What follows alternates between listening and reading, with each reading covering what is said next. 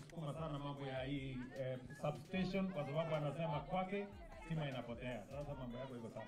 Asante sana Mheshimiwa Rais, watu wa Kajiado, enda soma poki muriaga. Mheshimiwa Rais, ni kweli nimekusumbua sana juu ya hii mradi ya Kimuka substation pamoja na waziri na PS wako, na last year wakati kama mwezi wa nane tulikuwa hapa na waziri wakati mradi ilikuwa inaendelea, na tukaweka pressure sababu watu wa hapa Kajiado na majirani wetu hapa Kikuyu, sisi hapa kwetu Kikuyu ng'ambo hii tu ya barabara, ikifika saa moja jioni stima ilikuwa inazimika, saa ile tunahitaji. Mchana, saa ile hatuhitaji stima, iko. Jioni ikiakishwa inapotea sababu ya overload ya stima. Na kupitia huu mradi sasa, hata viwanda nimeambiwa na PS, hata tukitaka kuweka kiwanda yenye itataka 66 kV hapa Kajiado ama Kikuyu itawezekana, na kwa ile mpango yako ya manufacturing, sasa viwanda zitaweza kuja hapa Kajiado na Kikuyu, na tuko na umeme wa kutosha na umeme ambao ni green energy kutoka Suswa uh, station.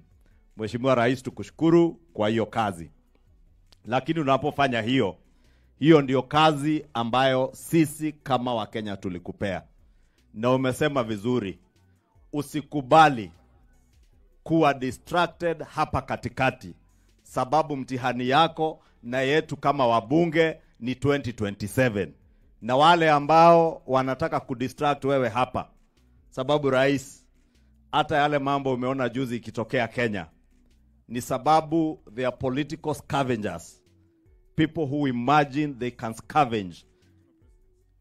People who wanted to divide our country first along ethnic lines. Political scavengers your excellency who wanted to divide our country even along class lines. Those political scavengers your excellency we want to tell them to wait for the next elections in 2027 let them come and sell their agenda to the people of Kenya as the people of Kenya look at your track record on development matters as you promised them when they elected you. Kwa hivyo rais, tukiwa hapa Kajiado, Mheshimiwa ndugu yangu Sunguya anajua tunafanya kazi kwa ukaribu sana. Watoto wengi wa hapa Kimuka na Kajiado wanavuka ng'ambo wanakuja kusomea Kikuyu watu wengi kutoka Kikuyu wanakuja kufanya biashara hapa. Tukiwa na shida ya stima inatusumbua sisi wote kwa usawa. Ndio tuliwaambia yule aliyedhania atatugawanya kwa misingi ya ukabila.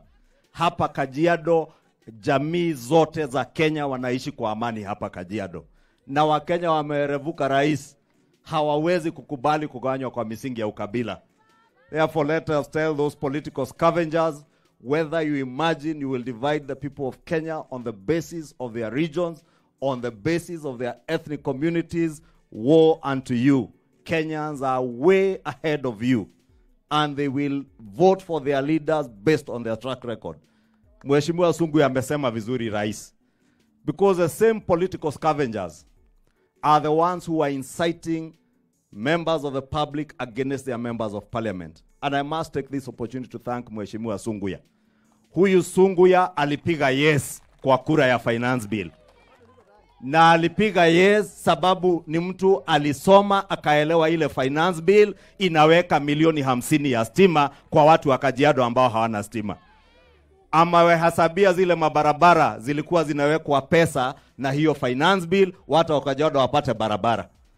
Huyu alielewa wakati wale political scavengers walikuwa nadanganya wananchi ati dawa ya kansa inawekwa ushuru. Huyu Sunguya alielewa hiyo ilikuwa mambo ya kupotosha wananchi.